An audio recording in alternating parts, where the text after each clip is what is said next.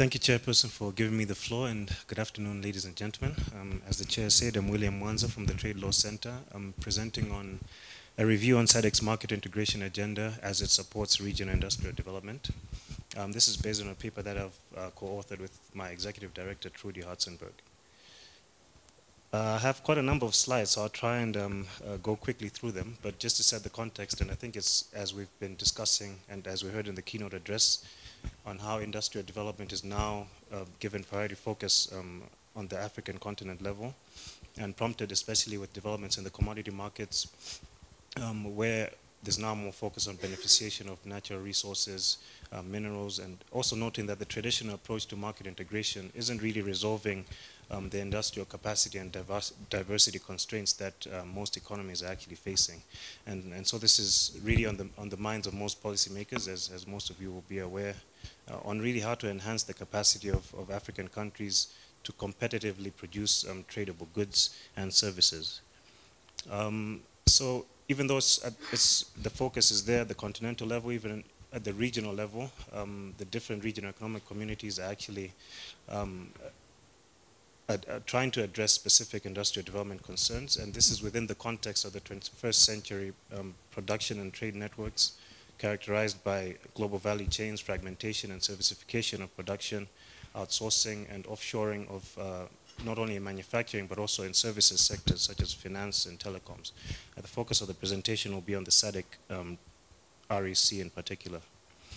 Uh, having given that contextual background, uh, this is the rest of um, my presentation. I'll quickly just go through um, the approach to industrial development that has emerged at the continental level, at the TFTA level, and we see how it is also reflected at the SADC level. Um, when I get there, I'll then just map, it's sort of a maze of industrial development policy um, documents and legal um, instruments. So I'll just really just map that out and focus on the SADC trade protocol as I, as I discuss market integration, in its link with uh, industrial development, um, and then before I conclude. Um, as, as the chair has said, and I think as we also heard in the keynote address, there's a three-pronged approach to industrial development um, at the continental level, um, looking at market integration, so the CFTA, uh, the negotiations of which were launched last month, um, which is linked to the boosting intra-African um, trade, which is looking at enhancing regional uh, value chains within Africa to enhance intra-Africa trade. Um, this is linked to the to the AIDA, which was adopted, I think, in around 2010, uh, accelerated industrial development um, of Africa. So there's uh, programs and a, a, plan of action in, in select sectors. This is then tied to the program for infrastructure development in Africa, the PIDA, which focuses on those four sectors, energy, transport, water, and ICT. Uh, we see that that three-pronged approach is also replicated um, at the TFTA level. Um, the TFTA agreement, as we heard, um, was launched, um, and as market access negotiations are continuing, um, negotiations on industrial development and infrastructure development are also going to commence. Within the SADC um, context, this three-pronged approach has now uh, been seen, especially in the revised RISDP, which was adopted in April. Um, the initial RISDP had those four priority areas, um, but we noticed the change, especially in priority A, where it's gone from a focus on trade and economic liberalization, the linear approach to integration from an FTA, customs union, monetary, monetary union, as we've been discussing, to more a market integration uh, linked to industrial development. So it's, it's now especially high on the SADC agenda. And within uh, priority B, we see infrastructure being tied to the regional infrastructure development master plan, which I'll also come back to later in my presentation. Uh, so now there's a shift within SADC from the linear approach to uh, now consolidating the FTA um, and also now linking the FTA, synchronizing it with the TFTA and, and the CFTA. Um, but particularly, I think, I think also for um, the purpose of this presentation, there's a, there's a focus especially on the role of uh, regional value, value chains, um, especially as, as a leeway to industrial development. Um, I'll now just map the architecture of industrial development um, policy and law um, within SADC, uh, just starting with the policy framework. There are a few um, documents that have been adopted um, over the years, starting with the Industrial Upgrading and Modernization Program, adopted in 2009, which uh, highlights a few sectors which countries may want to um, build their expertise in as, as, they, as they seek to move up value chains. There's the industrial development policy framework, which um, emphasizes industrial upgrading, um, industrial deepening, and also industrial diversification. And now recently there's a SADC industrialization strategy which was adopted in, at the head of an extraordinary summit of heads of state and government in April 20, um, 2015, which is now an operational document to try and operationalize those two um, documents, um, also in addition to the, to the RISDP. The legal framework, the SADC Treaty provides the, the underpinning, um, the basis for the, the SADC region itself, and the treaty then provides for a number of protocols that can then be uh, concluded in different sectors so as to enhance policy convergence and harmonization of national policies in respective sectors. Um, the focus of my presentation is on the protocol on trade, which has those six subsections. And uh, I'm going to highlight one, at most two issues within um, each, each, each section um, in the interest of time. Um, but then the focus there will really, will really be on how market integration and the commitments by member states, how they're being upheld, how they're designed, and how they can actually promote or potentially undermine um, industrial development efforts. Uh, so the protocol on trade is the basis, but then there are also some directly related protocols to the protocol on trade. Um, some of those are the protocol on finance and investment, or also known as the SADC FIP, the protocol on trade and services, and the new protocol on the tribunal, which I'll also talk on, on, on the institution and dispute settlement um, section. Um, there are other protocols which can be seen as covering enablers of industrial development, education and training, employment and labor, energy, environment, facilitation of movement of persons, transport, science and technology, and innovation. But there are also sectoral protocols which actually uh, seek to develop individual sectors such as fisheries, forestry, mining, um, shared watercourses, tourism, wildlife. So definitely a vast um, legal and policy framework which would uh, need to be implemented in quite a coherent way. Um, I've, I've, sort of just limited the scope of our study to focus on the protocol on trade uh, because that's where market integration is really supposed to is really supposed to happen. Um, so also just to emphasize that uh, industrial development isn't a new issue uh, within the market integration um, agenda, one of the objectives of the protocol on trade actually is the diversification and industrialization of the region. So it's not a new thing, but then I think over the years, as we've been reflecting, we now see it coming to, um, to the top of the agenda. Um, I'll go into section A um, on, on trade in goods, uh, where I think most of the focus has been, um, which is on tariff liberalization. There's a clear article um, which says that member states will will phase out um, and uh, eventually eliminate import duties. And this was supposed to have been uh, completed in 2012, um, and there are currently 12 out of the 15 member states that are participating in the FTA. Uh, Seychelles has, has, just submitted an offer which has been approved, and most of these countries have completed their phase downs or will be completing by this year. So we really see that tariffs are not so much an issue anymore in the market integration agenda, um, but then as tariffs have been coming down, we've seen an increase in non-tariff barriers, um, replacing these tariffs as, as, barriers to trade. So this is in contravention to Article 6, uh, 6.1, which is clear on, on the elimination of, of existing NTBs and uh, calling on member states to refrain from imposing new NTBs.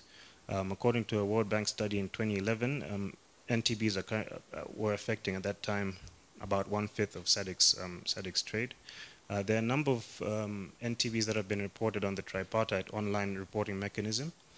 Um, and I, I, will be highlighting uh, some of these um, in, in, trade, trade facilitation especially, um, in SPS and restrictions and prohibitions on, on, uh, on import and export, especially affecting agriculture. Um, but I think at the outset, just to say that it's, it's mostly because of a lack of regulatory reform at the national level as countries are actually pursuing their own national industrial development objectives that they're actually contravening the, the commitments within the SADC trade protocol. Uh, so a good example would be in the import and export restrictions, which are um, provided for in Article 7 and 8, uh, which say that member states cannot apply quantitative restrictions um, except where, uh, where, where provided for in the protocol. And Article 9 provides the exception that you can only uh, implement these um, restrictions if they're for the protection of human and animal and plant health or life, um, protection of public morals, or to relieve um, shortages of foodstuffs. Um, there's a paper that um, Trudy Hartzenberg and Paul Kalenga have just done. It's actually in, co in collaboration with UNU-WIDER as well as a working paper, which is looking at the national policies which are being implemented um, in some in some of the SADC member states, and you actually see um, some of the measures that are being being implemented. For example, in Botswana, where there's a ban, there's there's been a ban on fresh on imports of fresh pork, restrictions on poultry, um, the beef export sector being a state monopoly restrictions in, in different um, imports of maize, wheat, and other agricultural and horticultural um, products. Namibia, um, import levies on fresh fruit, restrictions on maize and wheat, um, government control of, of buying and selling of maize and wheat in Zimbabwe, um, permits for fertilizer, etc. Um, if, if, you look at some of these measures, you see that they're not, uh, at the outset, they don't really fall under the exceptions allowed for under Article 9 of the SADC Trade Protocol. So this is an example where um, as countries are pursuing their national industrial development motives, this is actually clashing with the market integration commitments and undermining the development of regional value chains, especially in the agro, agro-processing sector. Um, I'll, I'll, come back to, to, the, to, this issue when I talk about dispute resolution because um, enforcement of the commitments is, is a vital aspect of the integration agenda.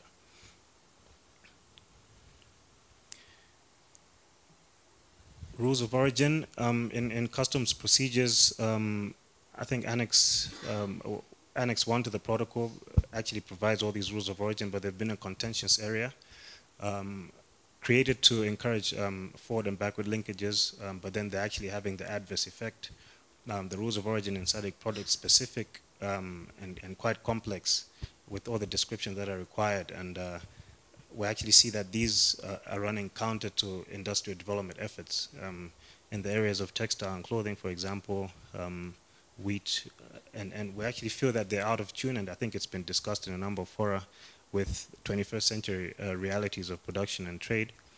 Um, and this is an example of uh, not just member states not upholding commitments, but the actual um, instrument within the protocol that actually runs counter to um, industrial development.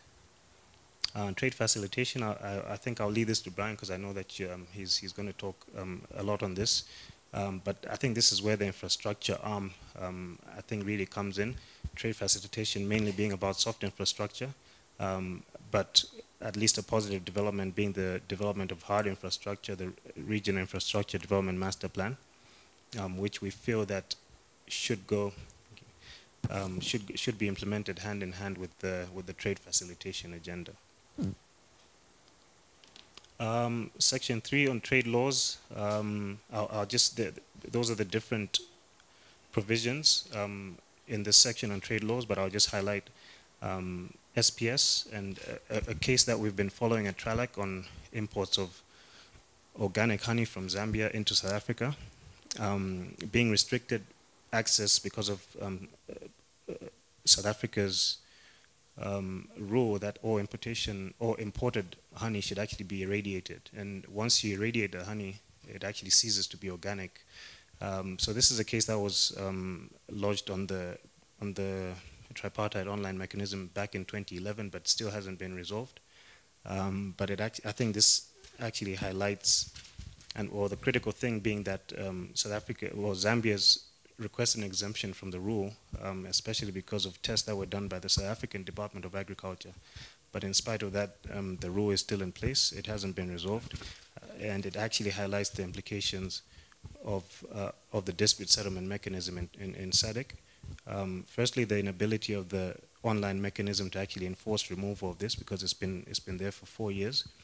Um, but then also when we come down to the institution within SADC itself, the one responsible for dispute settlement, the tribunal, where now disputes have been limited to um, disputes between partner states, meaning that private traders cannot come to the tribunal to contest um, such a matter. Um, would they then would they then rely on Zambia um, to perhaps take the case to the WTO? It's an unlikely scenario.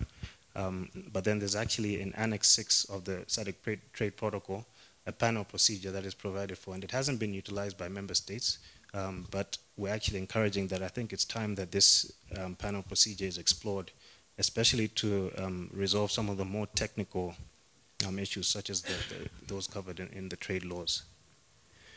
Um, trade-related investment matters. obviously, in, in, international investment uh, being a dynamic gain of region, region integration, and, and pivotal to the industrial development process. Article 22 of the protocol um, provides for cooperation on investment, and the SADC FIP then provide then gives provisions. Um, I think what what what would highlight there is um, international arbitration that is provided for um, within the SADC FIP. Um, there's a possibility for the tribunal, ICSID, and UNCITRAL. As I've just said, um, disputes within the tribunal are, are, limited to partner states, so investors only have ICSID and UNCITRAL but we believe that there is a gap in the ability of the framework to actually protect the rights of individual um, citizens, especially when we're now looking at issues of beneficiation of natural resources, resources which actually come with health and environmental concerns, whether it's through emissions or it's uh, disposal of waste, etc. Um, so the Article 14 of the FIP actually grants governments the right to regulate in the public interest. Um, but due to the reasons that I've stated, governments can only have recourse to national courts. They cannot um, bring a case, for example, against an, an, investor to the SADC tribunal because it's limited to partner states, and they can't take it to the ICSID or UNCITRAL because those forums only allow for um, petitions by investors and not by governments.